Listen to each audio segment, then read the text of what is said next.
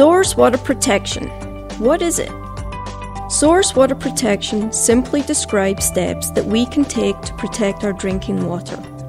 Whether your water comes from a well on your property or from a municipal pipe, you want to be certain that the water you drink or give to your children or grandchildren is clean. We all know how important clean water is for good health. But there are some other positive benefits that we as a community enjoy when we work together to keep our water clean. The cleaner our water is to begin with, the less it costs to treat, saving us all some money.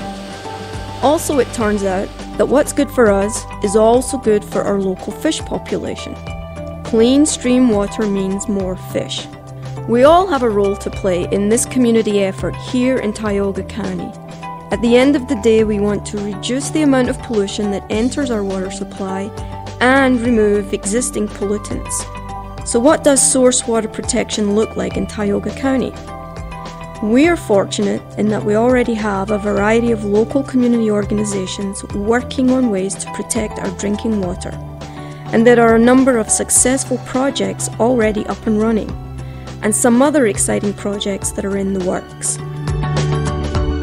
Source water protection, it's like an extra layer of protection for our watershed.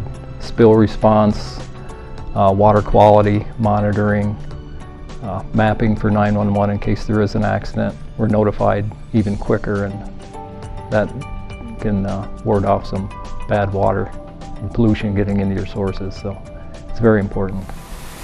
The cleaner the water source, the easier it is to treat. If we have to uh, use more filtration, coagulation to get the water to the point where it's good for the consumer. It's cost us more energy and the cost goes down the line to them and we can keep our costs low, keeps their costs low.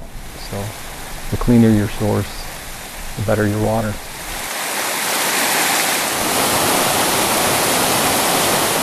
Here in Tioga County, we have water pollution issues that range from the very large to the very small.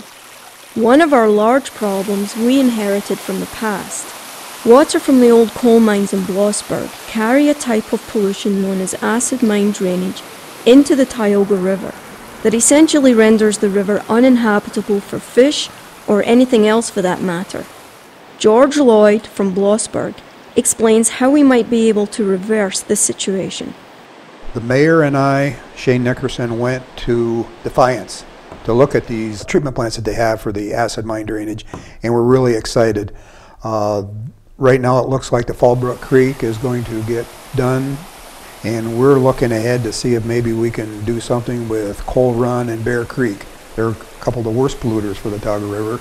We could get them cleaned up from the acid mine drainage. We could get some fish back in the creek, which I don't think anybody around this area has ever seen fish in the Tioga River for 100 years or more. And would you believe something as small as those old pills you flushed in the bathroom can also pollute our drinking water? Pharmaceuticals are difficult to remove once they're into your to your water system. They get into solution and uh, very difficult. Membrane filtration possibly will take some, but not all. So we want to remove existing pollutants and we do not want to create new problems that will be passed down to our children and grandchildren. A first, very simple and cost effective way to do this is to use the earth to do some of the work for us. Over at the Island Park, we have minimum storm drainage that we can put the water into. So that area right there, the water would come down the road and would puddle right there alongside the road and make a mess. I was just going to put a catch basin in there and let it drain in the catch basin. Found out there was some grant money available that we could put some pipes in there, it would drain in the pipes, uh, dissipate into the ground. And for anybody downstream or wells, it would percolate down through the gravel and sand, clean itself up, and get into the aquifer, and maybe somebody would get some clean water out of the whole project. I believe the design could be incorporated into uh, parking lots, uh, other storm drainages in the area where the water could go down into the ground, uh, dissipate down there instead of going directly into the Tioga River. It would help uh, prevent some of the flooding problems in the river too because the water would be going down into the ground and benefiting that way.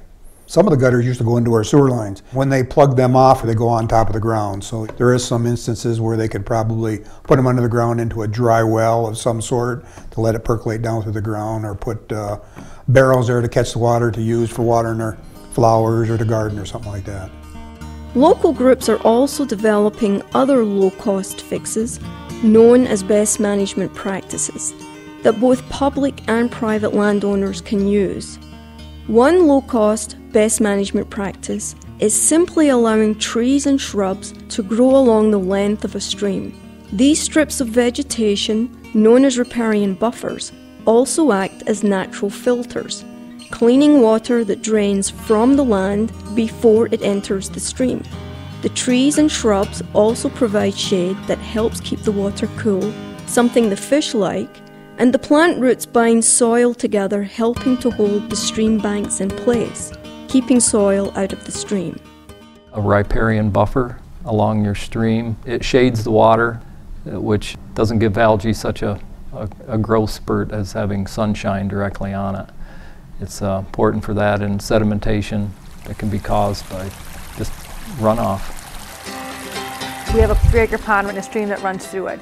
And every time it rains, you can actually see rills where sediment was running right into the pond. And because it's an animal concentration area and the cows are there in it, um, they're applying manure to that area, so I guarantee nutrients are flowing into that, into our pond as well. Our pond is the headwaters to an unnamed tributary. So we just, you know, we want to keep it cleaner. What I want to do eventually is plant a riparian buffer on the stream and around the pond, and hopefully that'll control the temperature of the pond. There are other best management practices that help keep soil on the land and out of our drinking water. Cover crops have so many benefits for conservation. They hold the ground in place. I don't know if you've ever seen the picture of the raindrop hitting the dirt. It, you know, it's like a little mini time bomb every time a raindrop hits the ground. And so that soil becomes movable and it can wash off into streams. And so cover crops are great simply because you keep the ground covered all the time. If you apply manure to this cover crop over winter, the, the, plants actually uptake the nutrients from that manure. It'll hold the manure in place so it's not running off into streams. Farmers do them on huge scales. Soil is not the only thing we want to keep out of our streams. Everyone understands the importance of treating our sewage before releasing it into the local stream. And so it's very important to keep our septic systems in good working order.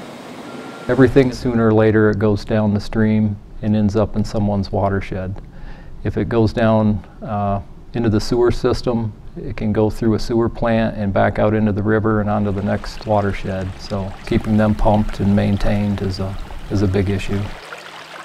But we human residents of Tioga County are not the only critters that create sewage. Tioga County is also home to large numbers of livestock. Here at the fairgrounds on the wash rack, we wanted to um, improve the wash rack collection of water and to protect the uh, surface water going downhill from this area, um, make it a lot drier, and then we run the water through a filter system.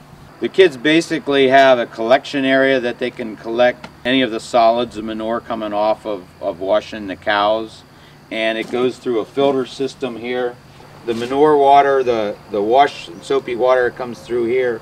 So that keeps all the solids here. And then the kids will pick that up and uh, put that in the manure spreader here at the fair. Both public and private landowners often have large buildings on their property with roofs that collect a great deal of rainwater. Again, we can use the earth to filter that rainwater and get that clean water stored in the ground for future use. This kind of best management practice is already being used here in Tioga County. These are clean water projects. This is um, a regular roof gutter system on this exhibit arena. And what's a highlight here is this gutter system is all collected into a underground drain system. Here in the dairy barn we have a drip line with a buried line to catch that clean water and over here we have the rain gutter system that's collected and put down into the uh, clean water diversion. Both of those are low cost uh, technologies that can be used on farms, keep clean water clean, and both are on demonstrations here at the Tioga County Fairgrounds. So we all agree that clean water is important And there are individuals and community organizations already hard at work here in Tioga County to keep our drinking water safe. To learn more about how you can be part of the effort to keep our water clean, please contact the Tioga County Source Water Protection Coalition